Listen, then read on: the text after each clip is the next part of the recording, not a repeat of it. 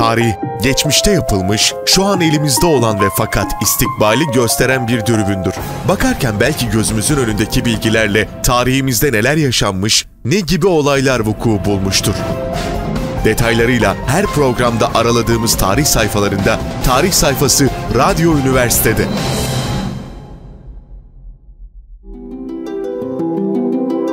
Tarih sayfası başlıyor. Günaydın sevgili dinleyenler. Tarih sayfasına hoş geldiniz. Bu haftaki tarih sayfalarımızı Mehmet Akif Ersoy'un çok yönlü kişiliğiyle ve döneme damgasını vuran bağımsızlık marşımızı nasıl kaleme alışıyla ilgili ve bunun haricinde Mehmet Akif'le Mehmet Akif'le ilgili bilinmeyen yönlerine değineceğiz. Mehmet Akif'i çok yönlü kişiliğiyle değerli hocamız Olcay Özkaya birlikte el alacağız. Ee, Mehmet Akif'i konuşacağız hocamızla birlikte. Ee, Sayın hocam, Mehmet Akif deyince aklımıza Milli Marşımızın şairi. Öncelikle Mehmet Akif deyince aklımıza Milli Marşımızın şairi geliyor ve bu e, küçüklükten şimdiye kadar e, ve ebediyete kadar yaşayacağımız, yaşatacağımız bir Mehmet Akif'in e, sembolü haline gelmiş e, yönü. Şimdi bu yönüne değinmeden önce tabii ki çok yönü var. Yani Evet, kısaca evet, bahsetmek şüphesiz. mümkün değil ama öncelikle Mehmet Akif kimdir sorusuna kısaca cevap verelim. Ondan sonra farklı yönlerine de tek tek girelim. Evet, e, aslında tabii e, üzerinde durduğunuz üzere çok yönlü. Hangi yönünden tutup nereden aslında başlasak diye de düşünmüyor değilim ben de kendi adıma. Mehmet Akif tabii e, yaşam çizgisi itibariyle 1873-36, 1936 arası bir yaşam çizgisi içerisinde hayatını devam ettiriyor. Milli şair tabii. Mehmet Akif'in e, Mehmet Ragıf e, olarak ilk e, bildiğimiz ismiyle e, önce işte mahalle mektebinden başlayan eğitim hayatı, e, mahalle mektebinden hemen sonra Mülkiye'ye devam ediyor. Mülkiye Mektebi'nden Baytar Okulu'na, Baytar Okulu'ndan ta şeye Mısır'da bir üniversitede ders veriyor. Uzun yıllarda orada eğitim hayatında sürdürüyor. Çok yönlü kişiliği var aslında. Yaşamında e, her yaşam döngüsünde e, kendince ortaya kendi kişiliğini, kendi düşüncesini, düşüncelerini daha doğrusu hayata dair düşüncelerini ortaya koyduğu kendine has bir çizgisi var Mehmet Akif'in. Özellikle bu işte baytarlık hayatı yani mes- veteriner e, hekim olarak hayatının bir müddet e, devam ettirdiği yıllarda ziraat nezaretinde baytar olarak çalıştığı o yıllar e, çok yeri gezdiğini biliriz. Yani 3-4 sene diyorlar Rumeli, Anadolu ve işte Arabistan bölgesinde bulaşıcı hastalıklar üzerine, salgın bulaşıcı hastalıklar üzerine araştırmalar yapıyor, incelemeler yapıyor. Çok donanımlı, önemli bilgilerle geliyor, geri dönüyor ülkesine ve bu hastalıkların tedavisi için de hayli uğraştığı söyleniyor. Ama memuriyet hayatı 1913 sonrası aslında sona eriyor ve o dönem e, öğretmenlik e, yaptığını biliriz. Öğretmenliğin yanı sıra şiirler yazdığını, şair Mehmet Akif ortaya çıkıyor. E, onun dışında resimler yapıyor, resim de yapan bir insan aynı zamanda. Fakat neşriyat hayatı 1908'de başlar. Bu çok çarpıcı bir dönemdir. Mehmet Akif'in yani Mehmet Akif'in, 1908'de evet. ikinci meşrutiyetle beraber neşriyat hayatına yani yazım hayatına, edebiyat hayatına esas Mehmet Akif olarak bildiğimiz o özlü sözlerini, e, derin yazılarını e, böyle çok hassas dokunuşlarla e, çeşitli cümleleriyle böyle bezediği en güzel eserlerini yazmaya başladı. Meşrutiyet dönemidir. Yani meşrutiyet sonrası, ikinci meşrutiyet yılları sonrası Mehmet Akif'in gerçek neşriyat hayatının ortaya çıktığını söylemek lazım. Evet bu edebi hayatına geçiş sürecinin öncesinde öğrencilik döneminden bahsettiniz. Öğrencilik döneminde de e, çok tuhaf bir e, özelliği varmış. Birinciliği Ha. kimseye kaptırmazmış. Tabii tabii Baytar Bunu İstiklal Marşı'nın e, yarışmalarından da biliyoruz. Biliyoruz, tabii. İstiklal Marşı ile ilgili e, yarışmadan Çok başarılı, biliyoruz. çok azimli daha doğrusu azmeden bir insan. ki kişisel özelliği öyle azimli. Ee, işte Baytar Mektebi'nde birincilikle bitiriyor ve Evet. dile çok meraklı. Ee, epey de dil biliyor. Yani o dönem e, bu dil merakından dolayı mesela çok iyi derecede Fransızca, Farsça, babasından da Arapça öğreniyor.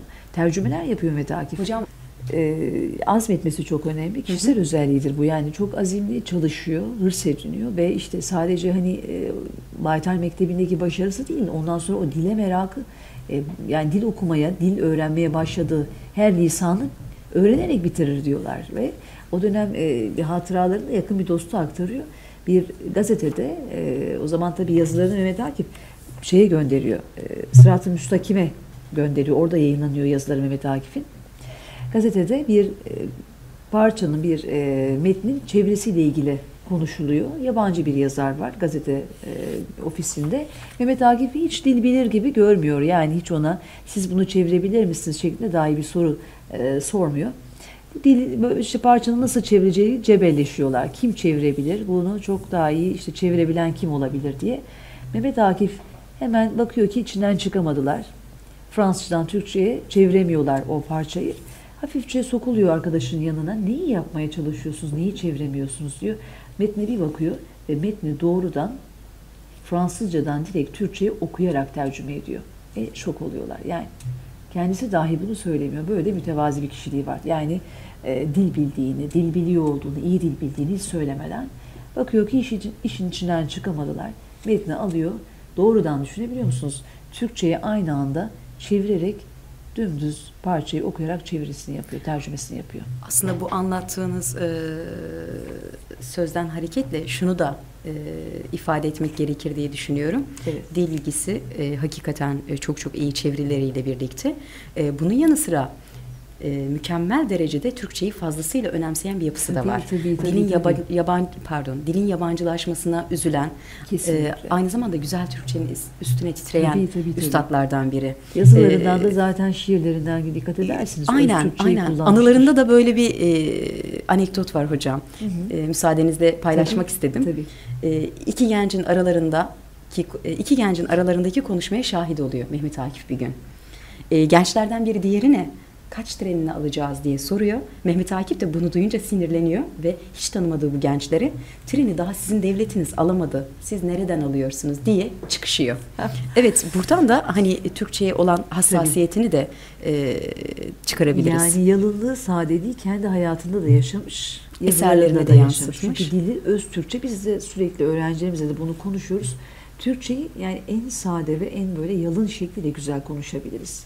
İşte yabancı kelimelerin dil içerisindeki varlığı biliyorsunuz zaman zaman bunu zora sokuyor ama mümkün olabildiğince dili gerçekten öz haliyle yani öz Türkçe haliyle kullanmak gerekir. Mehmet Akif e, deyince evet İstiklal Marşı ile o kadar bütünleşmiş ki bağımsızlık sembolümüz İstiklal Marşı ve bağımsızlıkla ilgili de birçok görüşü var. Nesillerinde de Tabii. özetliyor.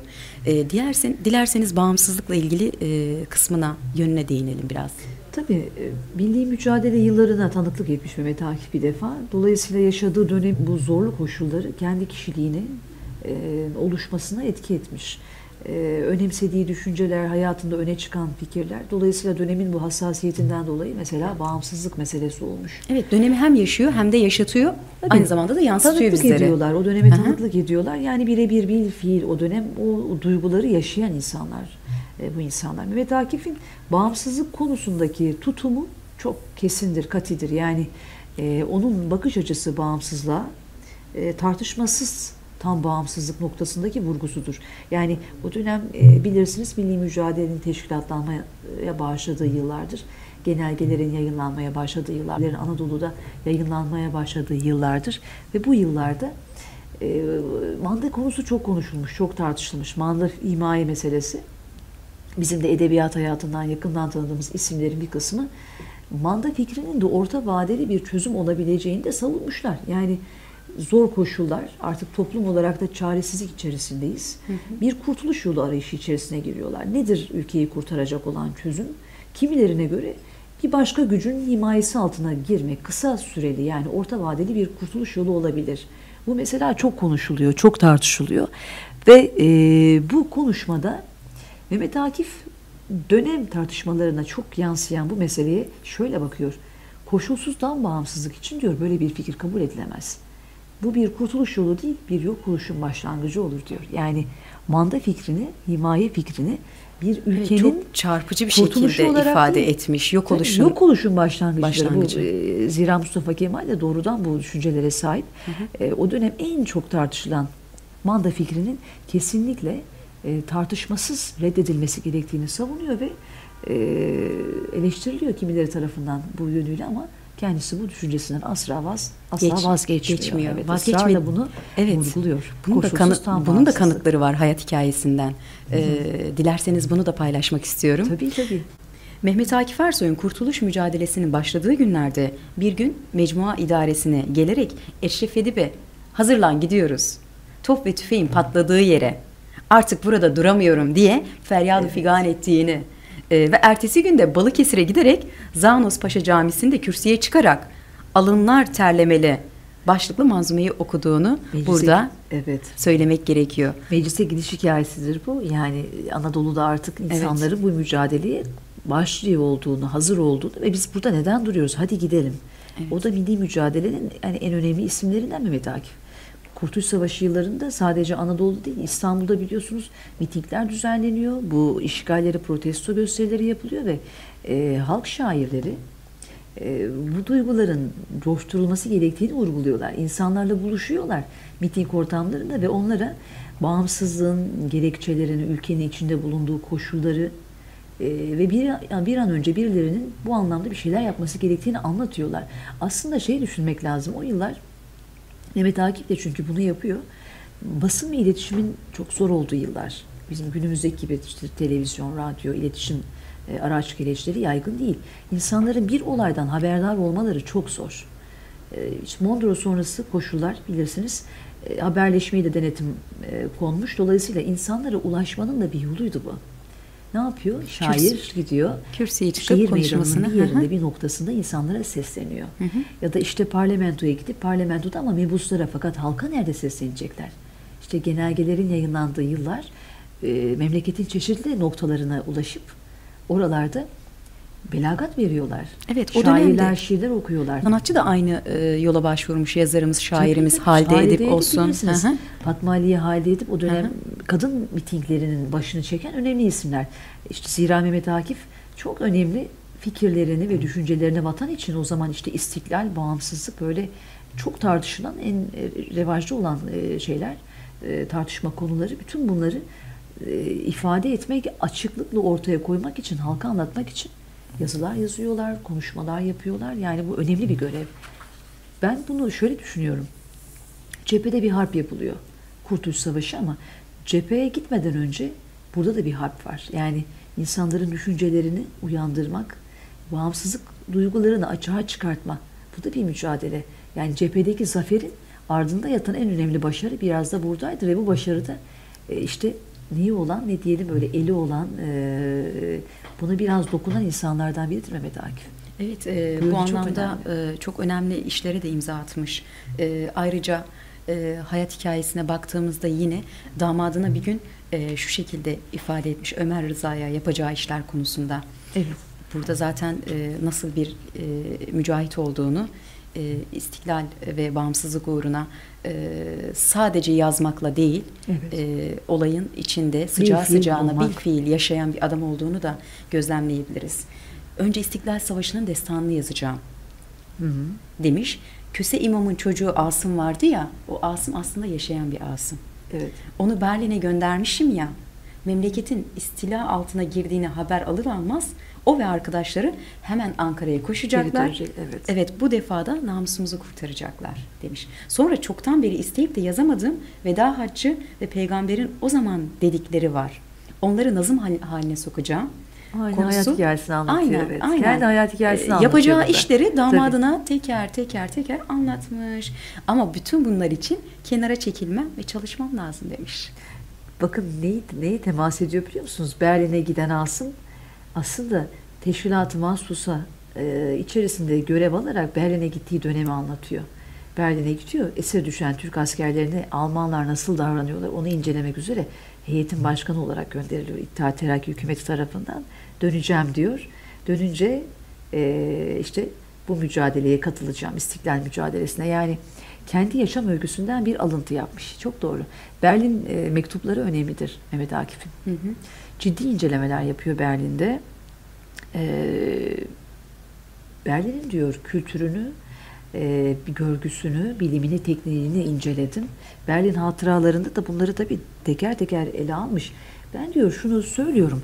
Batı'nın sahip olduğu medeniyet üstün bir medeniyettir. Biz de medenileşmeliyiz.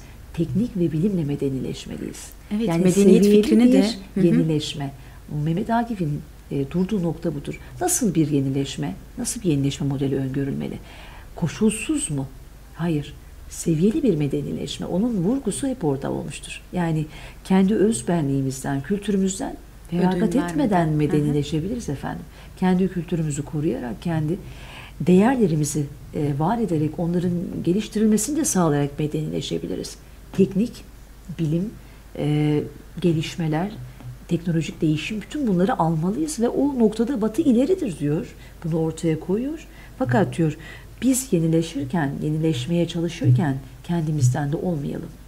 O dönem edebiyat hayatının e, çok da bir e, konusuydu. evet birçok sanatçı yanlış batılılaşmaya vurgu yapmış eserlerinde. Ede- Ünlü edebiyatçılardan işte o iki kültür arasında kalma. Ne doğulu ne batılı. Ne kendini yaşayabilme ne de o başka olan, farklı olanı Peyami Safa ne güzel ifade etmişti değil Hepsi mi? de var. Kediyle köpek Kediyle e, benzetmesiyle. Çok doğru, çok Hı hı, doğru. Yani arada kalmak kötü bir şey. Arada kalmadan kendin olarak yani kendi benliğinle ve kültürünle medenileşebilirsin. Seviyeli yenileşme diyor buna. Yani aslında baktığınız zaman çok anlaşılabilir bir kavram. İşte Recaizade Mahmut Ekrem'in Araba sevdası. Araba Sevdası'nda. Hı hı. Yani o dönemi kritik Firuz Bey'in e, evet e, şey Felatun Bey ve Rakım Efendi galiba o da vardı değil mi? Felatun Bey ile Rakım Efendi. Aynen hocam. Yani Hı o hı. dönemi kritiğini yapıyorlar, eleştiriyorlar ama eleştirirken de düşündürüyorlar. Modernleşmekse modernleşmek. Batının tekniğini, bilimini alacağız. Akıllı, rasyonel, pragmatik olacağız ama bu senin giyimini, kuşamını, e, yaşam tarzını, değerlerinden uzaklaşmanı gerektirmez ki. Yani oradaki vurgu çok önemli. Aslında Mehmet Akif bunu Savaşı altını e, çizmiş. Aynen Tanzimat döneminden beri e, karşılaştığımız yanlış batılılaşmanın e, bugüne kadar bu konunun sirayet ettiğini de görüyoruz. Ben de buna E, katılıyorum. Yani aha. bir türlü anlaşamadık. Biz anlayamadık modernleşmeyi. Aslında bu yenileşme mantığını anlayamadık. Evet. Yenileşme ve modernleşme de e, yani zaman zaman çeşitli ortamlarda sohbetini tabii yapıyoruz her daim. E, bunun altını gerçekten çizmek lazım. Öz kültürle ve değerlerle ihtiyaca binaen tekniğin ve teknolojinin, bilimin ve gelişmenin e, alınması lazım. Neresi ise o zaman batı. Şimdi teknolojinin merkezi neresi? Oradan alacağız. Çok daha üstüne koyacağız. Kendimize özgün bir yeni model çıkaracağız. Bize ait olacak o yaptığımız. E, hocam, Olcay Hocam, medeniyet ve uygarlık meselesine bakış açısından hareketle e, aynı zamanda Mehmet Akif'in bilim ve teknoloji konusunda da yaklaşımını ön plana çıkardık e, bu sayede. Aslında konuşacak o kadar çok şey var ki Mehmet Akif hakkında. Biz ufak ufak böyle e, anekdotlarla ucundan yakalıyoruz. bir ucundan yakalamaya çalışalım. E, şimdi evet sanatçı diyoruz, evet büyük bir şahsiyet diyoruz, Türk Edebiyatı'nın duayeni diyoruz. Bu yönlerini kısa kısa ele aldıktan sonra insanız, insani yönümüz her zaman ön planda. Şimdi tabii. e, Akif'in de o yönünü birazcık böyle öne çıkarmak lazım. irdeleyelim, aha, öne çıkaralım. Son olarak programımızın sonuna doğru. Ee, insan ilişkileri ve insan ilişkileri ve dostluk konusunda da çok çarpıcı anekdotlar, çok çarpıcı bilgiler, Tabii, hatıralarından e, da çok hatıralarından aktardığı ya da dostların, aktarabiliriz. Dostların kendisi için aktardıkları var. Ve kişiliğinde çok önemli bir yönü var hocam. Sözünün eri olması. Evet. Onu da ele alabiliriz bu noktada. Yakın dostları bunu özellikle aktarmış hatıralarında. E, kimileri, kimi yakın dostları. İşte Mithat Cemal bunlardan bir tanesi. Hı hı. E, Mithat Cemal diyor ki e, o zaman memuriyet hayatından yeni işte ayrıldığı yıllarda Evet. Mehmet Akif'in yanına gidiyor. O zaman zor yıllar. Anadolu'da geçim zor, yaşamak zor. E, işte savaş e, Dolu dönemi, savaş dönemi. İnsanlar tabii geçim derdinde, e, sıkıntılar büyük. Mithat Cemal Kuntay e, tabii bunu de kendi anılarından anlatıyor. Şöyle demiş, ben de yani e, onun sözüyle ifade etmek istiyorum. Balkan Harbi başlarken Akif Bey yegane geçim yolu olan resmi memuriyetinden istifa etti. Kirada oturduğu evine bir cuma günü gittim. Beş çocuğundan başka dört çocuğu daha vardı. Şaşırdım diyor. Bunlar kim dedim. Çocuklarım dedi. Sonra anlattı. Akif Baytar Mektebi'ndeyken bir arkadaşıyla anlaşmışlar. Kim ölürse, kim önce ölürse çocuklarına sağ kalan baksın demişler. Bu arkadaşı e, veteriner fakültesinden Hasan Efendi değil mi hocam? Hasan Efendi vefat etmiş. Evet. Dediğiniz doğru. Vefat etmiş. Mehmet Akif de verdiği söze bağlı kalarak anlaşma hükmünü yerine getirmiş. Yani arkadaşının bir anlaşma. çocuklarını hı. evine almış. Dolayısıyla işte Cemal Kuntay diyor ki yani bu duru, şey, bu tutumunu ve e, hakikaten sözün eri olmayı yani olma durumunu orada gördüm diyor ve çok etkilendim.